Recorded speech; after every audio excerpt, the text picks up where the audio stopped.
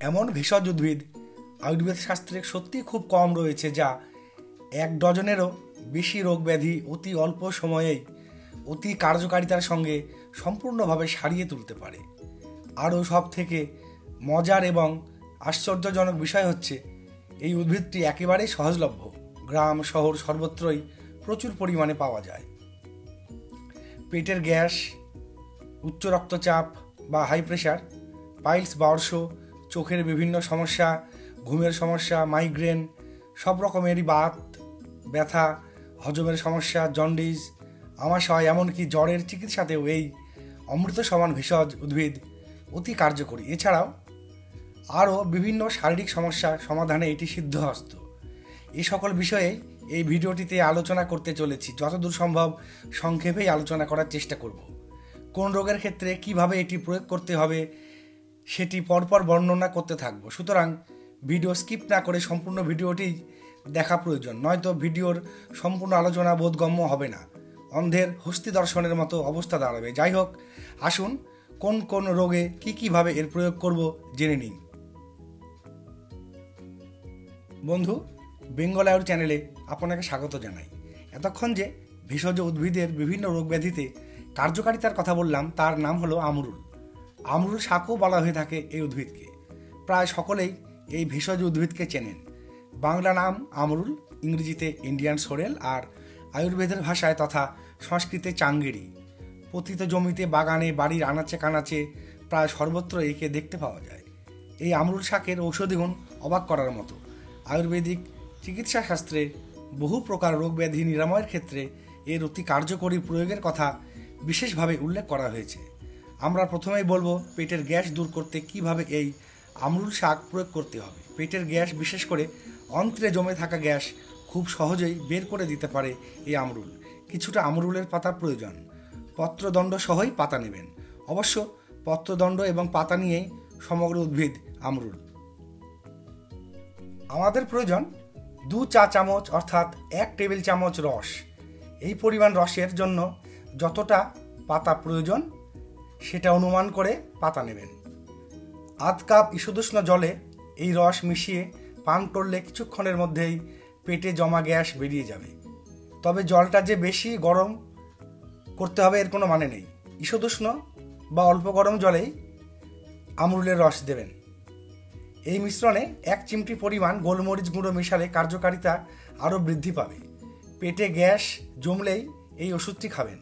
আর যারা ক্রনিক গ্যাসের রোগী, তারা এক টানা এক সপ্তাহ এই ওষুধটি খাবেন। সকাল ও বিকেলে, অর্থাৎ দিনে দুবার করে। হজমের সমস্যায় যারা ভুগছেন, তারা খাবার খাওয়ার পর এটি একই নিয়মে খাবেন। গ্যাস, বদহজম দূর করা ছাড়াও এই চিকিৎসায় অরুচি বা খিদের অভাব এই সকল সমস্যাও দূর হয়। যারা আমাশয়ের রোগী, তাদের জন্যও আমরুল খুবই উপকারী ভেষজ।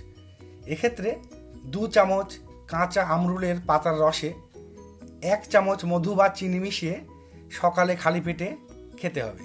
দু একদিনেই বেশ উপকার পাওয়া যাবে। তবে একটানা এক সপ্তাহ অবশ্যই খাবেন। কানের ব্যথা যন্ত্রণাতেও আমরুল খুবই ফলদায়ক। অনেক সময় বিভিন্ন কারণে আমাদের কানে যন্ত্রণা হয়। এই পাতার মাত্র দু ফোঁটা রস কানের ভেতরে দিলে ব্যথাটা কমে যাবে। পুরনো সমস্যা হলে সপ্তাহখানেক প্রয়োগ করতে হবে। এবার জেনে নেব জন্ডিসের সমস্যায় আমরুলের প্রয়োগ পদ্ধতি। আমরুল জন্ডিসের চিকিৎসায় খুবই ফলদায়ক ভেষজ। মাত্র কয়েকদিনেই জন্ডিস থেকে মুক্তি দিতে মুক্তি দিতে সক্ষম আমরুল। আমরুলের দু চামচ রস করে নিতে হবে। কোনোভাবে আমরুল থেঁতো করে পরিষ্কার সুতির কাপড়ে ছেঁকে রস বের করে নেবেন। এক কাপ ঘোলে এই রস মিশিয়ে পান করতে হবে। দিনে একবারই যথেষ্ট। তবে এক চুমুকে খেয়ে ফেলবেন না। ধীরে ধীরে চায়ের মতো পান করতে হবে। সাত থেকে দশ দিনের মধ্যেই জন্ডিস দূর হয়ে যাবে। জ্বরের চিকিৎসাতেও আমরুল খুব কার্যকরী আয়ুর্বেদ সম্মত ঘরোয়া ওষুধ।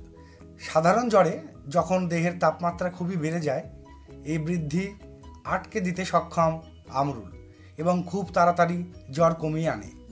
আমরুলের কাঁচা অথবা শুকনো পাতা জলে ফুটিয়ে চা করে খেলে জ্বরে খুব উপকৃত হবেন।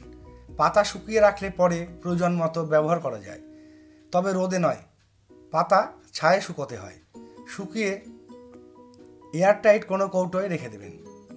এবার জেনে নিন, হাই ব্লাড প্রেশার বা উচ্চ রক্তচাপের চিকিৎসায় আমরুল কীভাবে প্রয়োগ করবেন? এক্ষেত্রে দু চামচ পাতার রস সকালে কিছু খাবার আগে পান করতে হবে। এক কাপ জলে মিশিয়ে এই ওষুধটি খুবই নিরাপদ। নিয়মিত খেতে পারেন।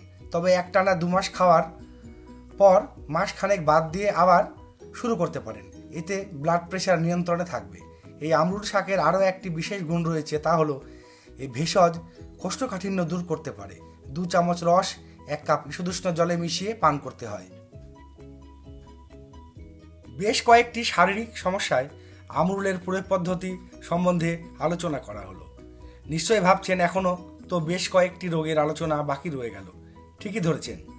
যে কটি গুরুত্বপূর্ণ রোগের আলোচনা বাকি রয়ে গেল সেগুলো হচ্ছে বাত ব্যথা, পাইলস বা অর্শ, ঘুমের সমস্যা, মাইগ্রেন ও মাথা ব্যথা, চোখের সমস্যা প্রভৃতি।